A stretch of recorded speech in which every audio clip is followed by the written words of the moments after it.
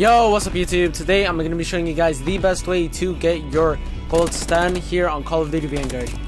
This is going to be an easy weapon since the camo challenges are not even that hard, so you'll fly through this really quickly. The first thing you're going to need is you're going to need weapon XP to get the gun gold. I did make a video before on how to get your weapon XP and how to get it really quickly, which would be zombies. But if you do not want to go for that and you just want to play multiplayer, make sure you are going up to level 30 and then you could actually go for your camo challenges. Now I'm going to show you guys the camo challenges. Alright guys, so you have your 400 eliminations. Is naturally going to happen as you're using the weapon.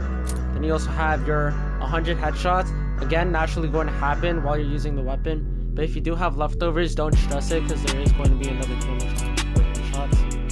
Then you also have your 50 multi-kills. These are just double kills. And since the TTK is really fast, then it's going to happen really easily.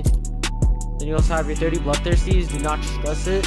If it is your last thing to do, just make sure you are camping and using perk 2 as forward intel. Then you also have your 100 long shots. Go for this immediately and then you can just start doing your camo challenges really quickly. Then you also have your 100 close range kills. Since this is a SMG, you'll get these really easily. Then you also have your hipfire kills. If you put the right attachments on, then you're not going to stress it because you're just going to not ADS and you just kill a bunch of people. Then you also have your ADS kills with these attachments. Just make sure you are using attachments that have aim down walking speed so you are strafing around. Then you also have your kills while moving. Same thing, just put attachments that have aim down walking speed. And then you also have 100 headshots with these attachments. Same thing, naturally going to happen.